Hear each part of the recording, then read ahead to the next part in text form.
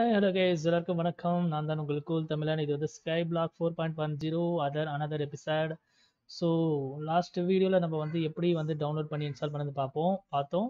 So இந்த வீடியோவில் வந்து நம்ம ஃபர்தராக வந்து எப்படி வந்து இந்த ஏரியாவை நம்ம வந்து எக்ஸ்பேண்ட் பண்ண போகிறோம் அப்படிங்கிறதெல்லாம் டீட்டெயிலாக பார்ப்போம்.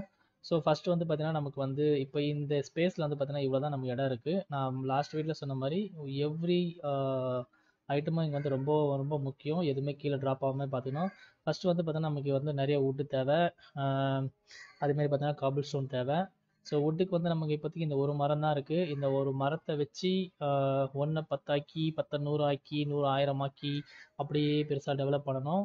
ஸோ இதை வந்து என்ன பண்ணனா ரொம்ப கார்னரில் இருக்குது இந்த மரம். ஸோ அந்த மரத்தில் இப்போ நீங்கள் நீங்கள் வுட்டை கட் பண்ணால் கூட என்ன ஆகும்னா சாப்ளிங் வந்து கீழே விழுறதுக்கு வாய்ப்பு இருக்குது ஸோ இது சுற்றி கொஞ்சம் ஏரியாவை கொஞ்சம் எக்ஸ்பேண்ட் பண்ணிவிட்டு அதுக்கப்புறம் மரத்தை நம்ம கட் பண்ணுவோம்.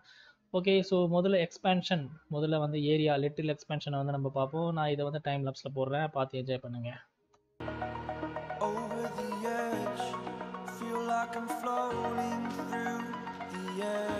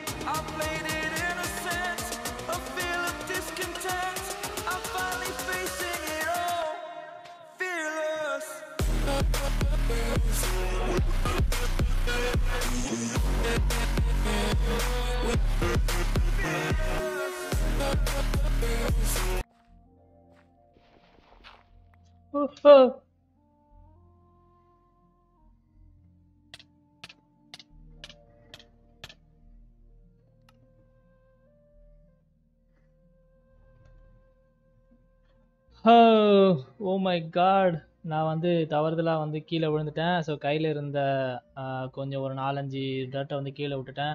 ஸோ அதுதான் கைஸ் இதுதான் சொன்னேன். ரொம்ப ரிஸ்க்கு பாருங்கள் இப்போ என் கையில் இருந்த டர்ட்டு கீழே வந்துச்சு. ஸோ ஃபர்தராக நம்ம எதுவுமே மிஸ்டேக் பண்ண மாதிரி பார்த்துக்கணும் ரொம்ப கேர்ஃபுல்லாக இருக்கணும் கைஸ் வாங்க கண்டினியூ பண்ணுவோம்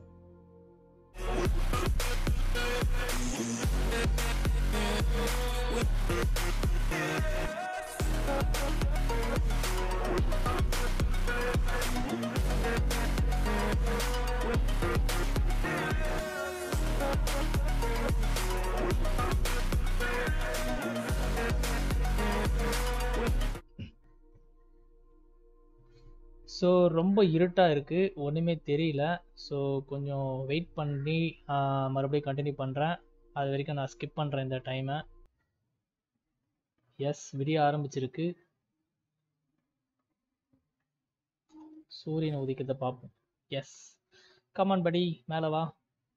நிறைய வேலை இருக்குது இன்னைக்கு. சீக்கிரம் நீ மேலே வரணும். ஓகே அதுக்கப்புறம் கைஸ் இந்த கிராஸ் பிளாக் இருக்கு இல்லையா? ஸோ இதை வந்து எட்காரனை கொண்டு ஃபுல்லாகவே கிளியர் பண்ணிடாதுங்க. எப்பவுமே கொஞ்சம் கிராஸ் பிளாக் இருக்கிற மாதிரி பார்த்துக்குங்க. நம்ம வந்து பார்த்தீங்கன்னா இது வேறு ரெடி பண்ணோம் காபுல் ஜென்ரேட்டர் வேறு பண்ணணும். ஓகே எனக்கு தெரிஞ்சு இது போதும்னு நினைக்கிறேன். இப்போ நம்ம மரத்தை வெட்ட ஆரம்பிச்சிடலாம். கொஞ்சம் மரத்தை வெட்டும் போது உஷாராக வெட்டுங்க. கீழே அங்கே விழுந்துட போகுது ஸோ ஒன்ஸ் நீங்கள் வுட்டை கலெக்ட் பண்ண உடனே அதில் இருக்கிற சாப்லிங்ஸ் அதெல்லாம் கீழே விழ ஆரம்பிச்சிடும் ஸோ அந்த சாப்லிங் வச்சு தான் நீங்கள் இன்னொரு மரத்தை நீங்கள் வந்து நட முடியும். ஓகே ஸோ இப்போ பார்த்தீங்கன்னா எல்லா சாப்லிங்ஸும் கீழே விழ ஆரம்பிச்சிடும் ஸோ ஒன்றுத்து கூட நீங்கள் மிஸ் பண்ணக்கூடாது.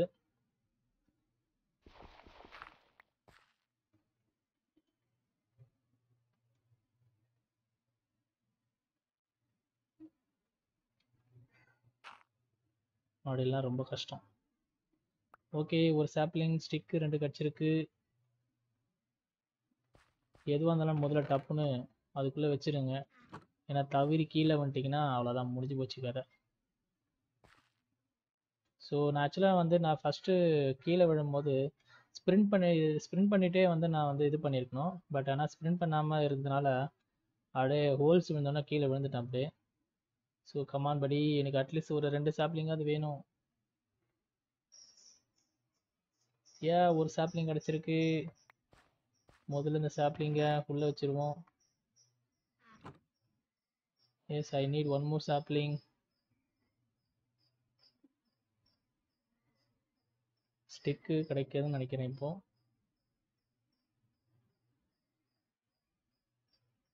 ஓகே எத்தனை சாப்ளிங் கிடைக்குதுன்னு பார்க்கலாம். ஒரு சாப்ளிங் தான் இப்போதைக்கு கிடச்சிருக்கு. இன்னொரு சாப்ளிங் கிடைச்சா நல்லாயிருக்கும்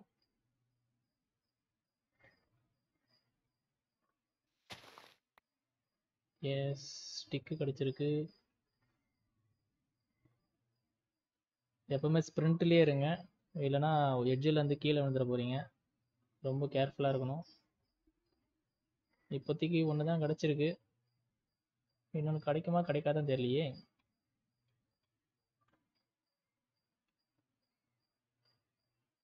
லக் இருந்தால் இன்னொன்று கிடைக்கும் பார்ப்போம்.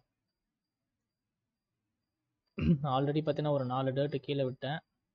அதுவே எனக்கு பெரிய நஷ்டம். I want one more sapling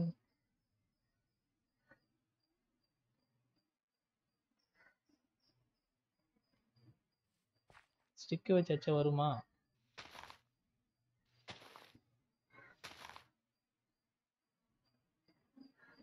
பயமாவே இருக்கு. இல்லை. நம்மளோட பேட் லக்கு இன்னொரு சாப்ளிங் கிடைக்கல. இப்போ பரவாயில்ல. இந்த மரத்தை இதை வந்து நம்ம பிளான் பண்ணிடுவோம். இதை வந்து இங்கே பிளான் பண்ணிடுவோம். ஸோ அடுத்தது என்ன பண்ணால் காபிள் ஸ்டோன் வந்து ஜென்ரேட் பண்ணணும் இல்லையா? ஓகே இங்கே கிராஸ் ஃபார்ம் ஆக ஆரம்பிச்சிச்சு. நல்ல விஷயந்தான் ஸோ இப்போதைக்கு வந்து பார்த்தீங்கன்னா நம்ம என்ன பண்ணுவோம்? உட்டை வச்சு கிராஃப்டிங் டேபிள் ரெடி பண்ணிடலாம்.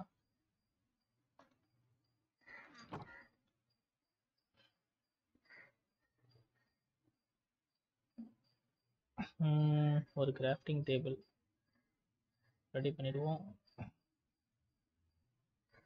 ஸ்டிக்கு வேணும் இது வேணும்.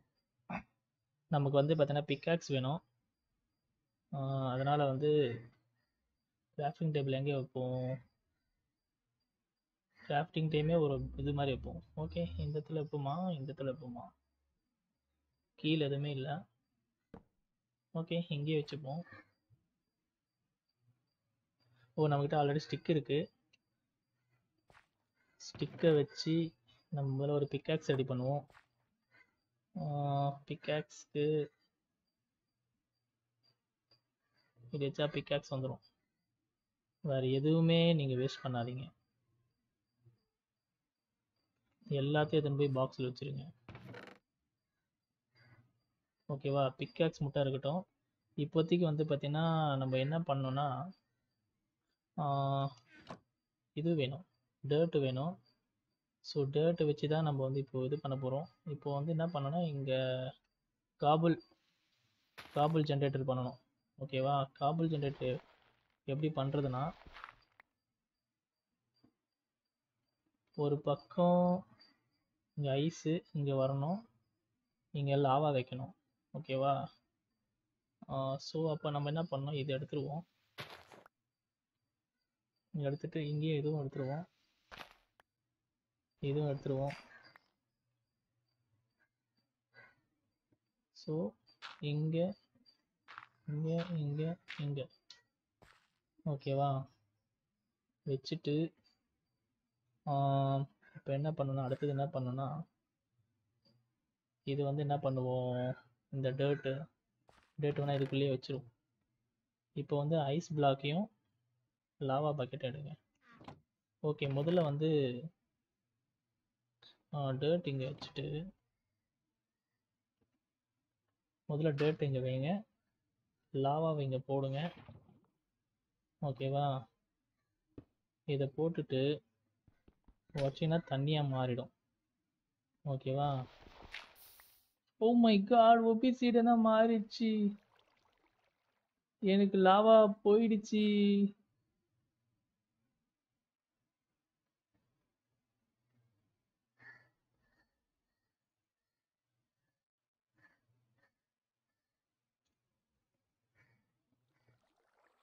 சோதனை ஆயிடுச்சு கைஸ் சோதனை ஆயிடுச்சு. நான் நினச்சது வேற நடந்தது வேற. வேற வழியே இல்லை. நான் அந்த வேர்ல்டை திருப்பி நான் ரிப்பீட் பண்ணியே தான் ஆகணும். இது வரைக்கும் சேவ் பண்ணது எல்லாத்தையுமே டெலீட் பண்ணி தான் ஆகணும். ஏன்னா லாவா இல்லாமல் ஒன்றுமே பண்ண முடியாது. லாவா ரொம்ப ரொம்ப முக்கியம். நான் இதில் என்ன தப்பு பண்ணேன்னு எனக்கே தெரியல. இருந்தாலும் தப்பு பண்ணியிருக்கேன்னு மட்டும் தெரியுது. மை காட் ஓகே கேஸ் மறுபடியும் இந்த ப்ராசஸை நான் ரிப்பீட் பண்ணிவிட்டு பக்காவாக நான் இது பண்ணிவிட்டு மறுபடியும் வந்து கனெக்ட் ப மறுபடியும் கண்டினியூ பண்ணுவோம். ஓகே கேஸ் நான் ஆக்சுவலாக பார்த்தீங்கன்னாக்கா லாஸ்ட்டு நான் வந்து அப்படியே ஒரு மிஸ்டேக் பண்ணிட்டேன். ஸோ என்னென்னு பார்த்தீங்கன்னா காபல் ஸ்டோன் ஜென்ரேட் பண்ணும்போது நான் ஒரு சின்ன மிஸ்டேக் பண்ணிட்டேன். அதை கரெக்ட் பண்ணிட்டேன். இப்போ வந்து அழகாகவே காபல் ஸ்டோன் வந்து ஜென்ரேட் ஆக ஆரம்பிச்சிருச்சு. ஸோ என்ன பண்ணணும்னாக்கா வந்து நீங்கள் வந்து பார்த்தீங்கன்னாக்கா முதல்ல வந்து காபல் ஸ்டோன் ஜென்ரேட் பண்ணுறதுக்கு முதல்ல இங்கே ஒரு ஹோல்ஸ் இருக்கணும் இங்கே ஒரு ஹோல்ஸ் இருக்கணும். அதுக்கப்புறம் பார்த்தீங்கன்னா இங்கே வந்து ரெண்டு பிளாக் டீப் இருக்கணும். அப்போ தான் வந்து தண்ணி வந்து பார்த்தீங்கன்னா இங்கேருந்து ஃப்ளோ ஆகி இந்த டீப்பில் இறங்கும். ஸோ இந்த லாவை வந்து ஃப்ளோ ஆகும்போது நடுவில் ஜாயிண்ட் ஆகி காபல் ஸ்டோன் ஜென்ரேட் ஆகும். ஸோ அதை பண்ணாமல் நம்ம வந்து கீழே வந்து இங்கே ரெண்டு பிளாக் டீப் வைக்காமல் ஒரு பிளாக் மட்டும் வச்சதுனால ஆச்சுன்னா டைரெக்டாக வாட்டர் வந்து லாவாவில் பட்டு அது வந்து ஒப்சிடனாக மாறிச்சு. ஸோ அது மிஸ்டேக்கு ஸோ அந்த மாதிரி பண்ணாதீங்க. ஸோ இப்போ வந்து நமக்கு வந்து இந்த காபுல் ஸ்டோன் யூஸ் பண்ணி நான் வந்து என்ன பண்ணேன்? பேஸை கொஞ்சம் லைட்டாக எக்ஸ்பேண்ட் பண்ணியிருக்கேன். ஸோ எக்ஸ்டெண்ட் பண்ணிவிட்டு ஸோ மரத்தை வந்து ஃபுல்லாக கட் பண்ணதில் பார்த்தீங்கன்னா எனக்கு ரெண்டு சாப்ளிங் கிடச்சிது. ஸோ இப்போ ரெண்டு சாப்ளிங் வச்சு இப்போ ஒரு மரம் வந்து இப்போ ரெண்டு வாரமாக வளர ஆரம்பிச்சிடும் ஸோ வுட்டுக்கு வந்து எனக்கு பஞ்சமே இருக்காது. அதுக்கப்புறம் பார்த்தீங்கன்னா இது எல்லாமே கிளியர் பண்ணணும். ஸோ இந்த இது வச்சு ஃபுல்லாகவே ஸ்லாப் வச்சு தான் பண்ணியிருக்கேன். ஏன்னா வந்து ஸ்டோன் வச்சு பண்ணுறத விட ஸ்லாப் வச்சுன்னா கொஞ்சம் எக்ஸ்ட்ராவாக வந்து நீங்கள் கவர் பண்ணலாம். ஏன்னா ஒரு ஸ்டோன் வந்து ரெண்டு ஸ்லாப் கிடைக்கும். ஓகேங்களா? ஸோ அதனால் வந்து ஸ்லாப் யூஸ் பண்ணி நீங்கள் ஃபுல்லாகவே எக்ஸ்டெண்ட் பண்ணுங்கள் அதேமாதிரி பார்த்தீங்கன்னா கிராஸ் வந்து பார்த்தீங்கன்னா ஃபுல்லாகவே கிளியர் பண்ணுறாதீங்க இந்த மாதிரி கிராஸ் பிளாக் இருக்கணும். ஏன்னா இது எதுக்கு வேணால் நீங்கள் வந்து பேசிவ் மாப் ஃபார்ம் பண்ணும்போது இந்த கிராஸ் பிளாக் வந்து இருந்தால் தான் வந்து பேசிவ் மாப்லாம் வந்து ஃபார்ம் ஆகும்.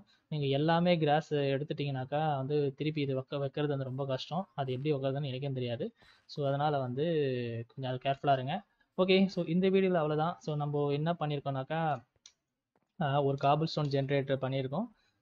அதை யூஸ் பண்ணி வந்து பேஸ் எக்ஸ்பெண்ட் பண்ணிவிட்டு ஸோ இப்போ ரெண்டு மரத்தில் ஒரு மரத்துலேருந்து ரெண்டு மரமாக பண்ணியிருக்கோம். ஸோ வந்து பார்த்திங்கன்னா பக்கெட்டு மரம் ரொம்ப முக்கியம். ஏன்னா இந்த பக்கெட் வந்து அயன் நீங்கள் எடுக்கிற வரைக்கும் இந்த பக்கெட் வந்து ரொம்ப கேர்ஃபுல்லாக வச்சுருங்க. இல்லைனா இது பண்ணுறது ரொம்ப கஷ்டம். மறுபடியும் நீங்கள் ஃபஸ்ட்லேருந்து ஸ்டார்ட் பண்ணுற மாதிரி இருக்கும். ஸோ இதெல்லாம் வந்து பார்ப்போம். என்ன எதுக்கு யூஸ் ஆகுது பார்ப்போம். ஓகே இப்போதைக்கு இதுதான்.